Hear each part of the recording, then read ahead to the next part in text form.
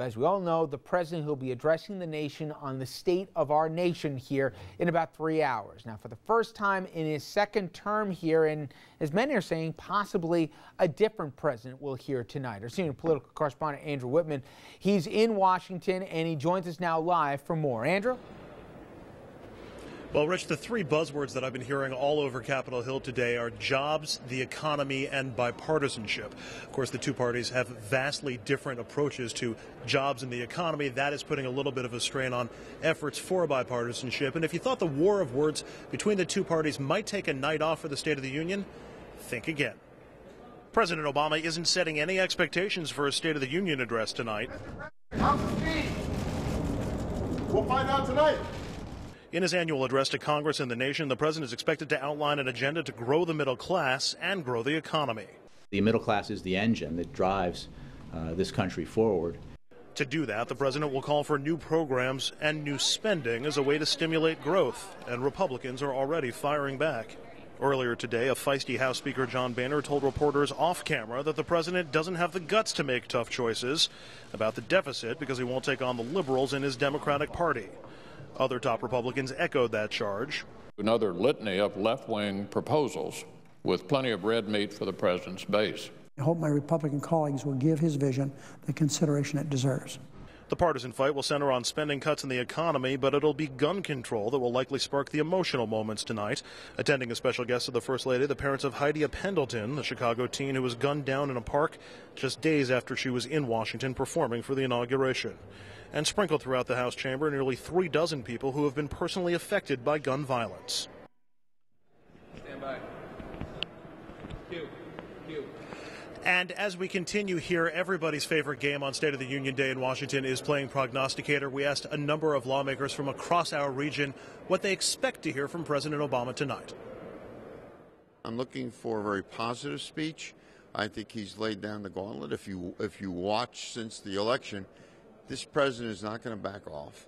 Uh, he wants to have consensus. On the other hand, I mean, this is the same thing that President Bush asked for in 2007 in his State of the Union address. And we got very, very little uh, cooperation. And then what happened? He painted a very pretty picture in 2007. And yet what happened was it didn't turn out too well in 2008. I expect to hear a focus on, um, on building and stabilizing the middle class.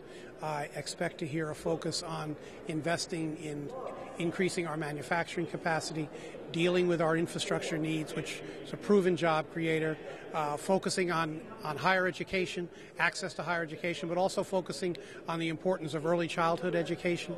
Uh, I'm sure he's going to talk about uh, sensible gun safety legislation. I think you're going to hear the president uh, deliver a positive uh, jobs and growth agenda, keep the economy moving, but even faster, and uh, get people back to work. gun safety. we are in the impossible place of losing 25,000 people a year to guns. Of course, what they are expecting to hear is one thing. What they would like to hear is something entirely different. We asked uh, same group of lawmakers if there were any subjects that they would like the president to address tonight that he might not. Take a listen. I want to talk about manufacturing. I think this was one of the pillars of the speech last year. I think this is very critical to the economy growing.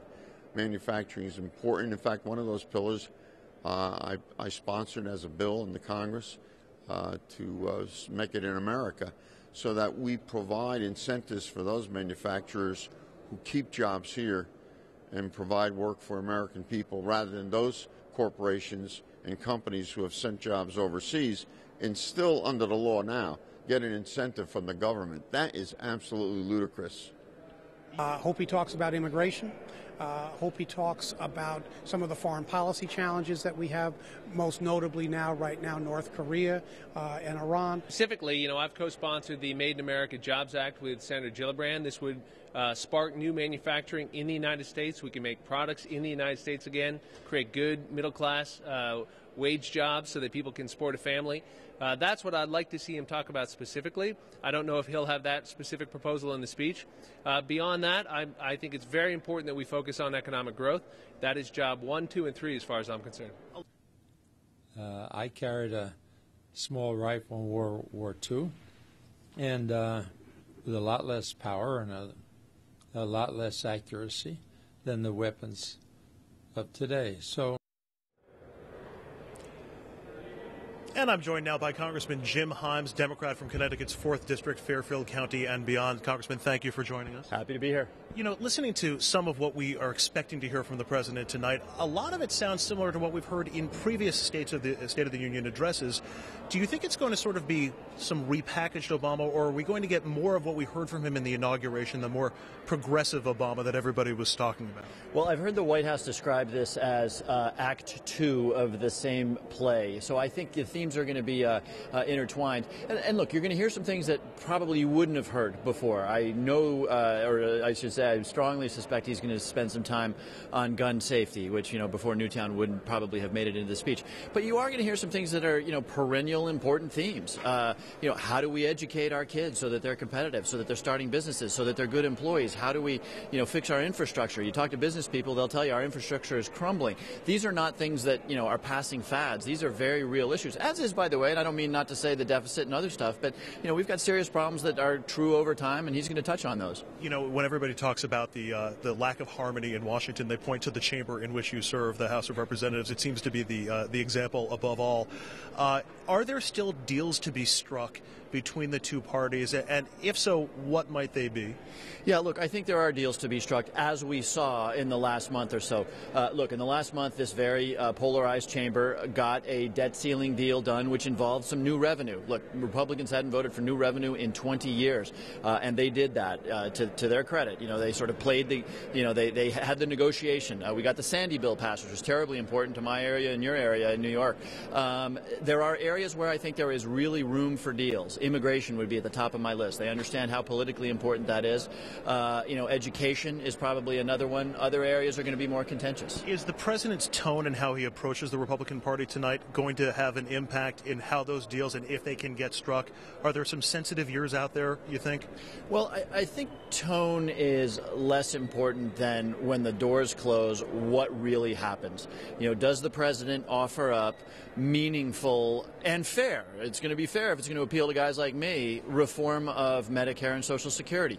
If he does that, I think he will find that the Republicans are newly, I wouldn't have said this six months ago, but the Republicans are newly willing to negotiate with him. So it's less about tone tonight than it is about what happens in the days to follow. Finally, a number of lawmakers tonight are bringing guests that are victims of gun violence. You're not an exception to that. Can you tell me just a little bit briefly about your guest tonight? My guest tonight is Katrina Murphy, who is a mother uh, of a three year old child who was caught in a crossfire in Bridgeport, Connecticut. This child was shot, thank God, uh, went to the hospital and is okay today. But I did this because uh, she's from district, but also because while Newtown appropriately, you know, destroys all of our hearts, every day there is violence in our communities, and Katrina Murphy represents that kind of violence that we do, that doesn't quite get the headlines. All right, Congressman Jim Himes out of Connecticut, Democrat. Thank you so much, and we'll see you again after the address tonight. That That's the latest from here on Capitol Hill. Rich, let's send it back to you in the studio. All right, Andrew, check back in in a little bit.